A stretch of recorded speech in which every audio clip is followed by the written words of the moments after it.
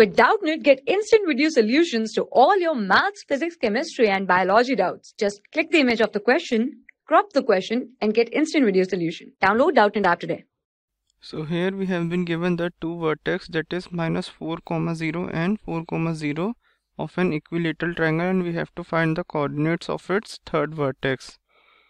So let A be the point that is minus 4 comma 0 and B, B be the point that is representing 4 comma 0 and C be the point that is representing x comma y as its coordinate.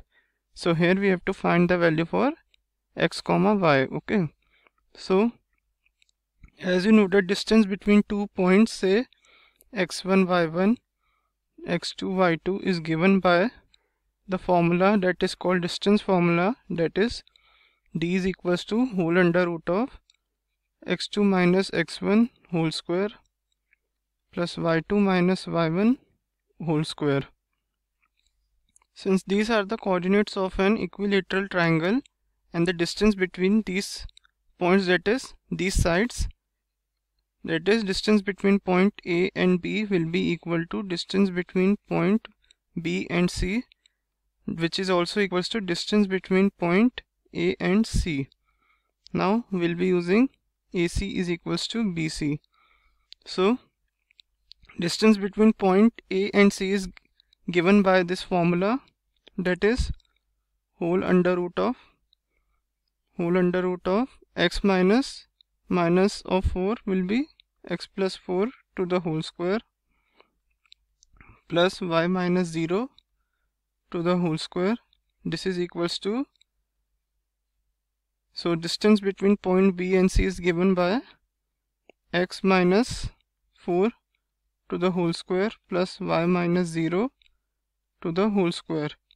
So this is equals to now squaring both the sides we will be getting x plus 4 to the whole square plus y square. This is equals to x minus 4 to the whole square plus y square. So here y square gets cancelled out so we get x plus 4 to the whole square. This is equals to x minus 4 to the whole square. Now applying the formula of a plus b whole square is x square plus 4 square is 16 plus 2ab that is 8x okay. So this is equals to so x square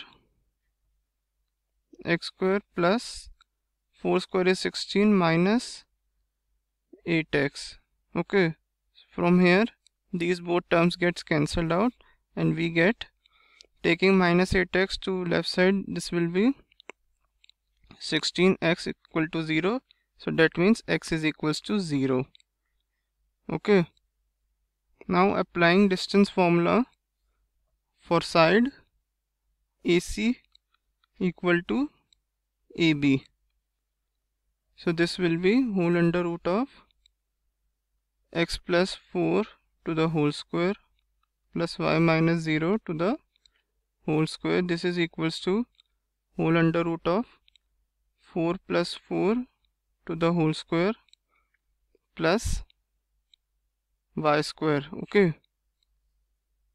That is our 0 okay.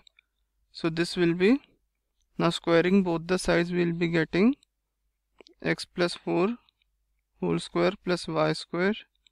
This is equals to 64 now here we can put x equal to 0 so that means 4 square will be 16 plus y square is equals to 64 so y square will be 64 minus 16 that will be 48 now taking square root of this we'll be getting y is equals to plus minus of 4 root 3 so the coordinates of third vertex are so c x comma y is equals to 0 comma plus minus 4 root 3 so this completes our solution. For class 6 to 12, IIT JEE and NEET level. Trusted by more than 5 crore students. Download Doubtnut app today.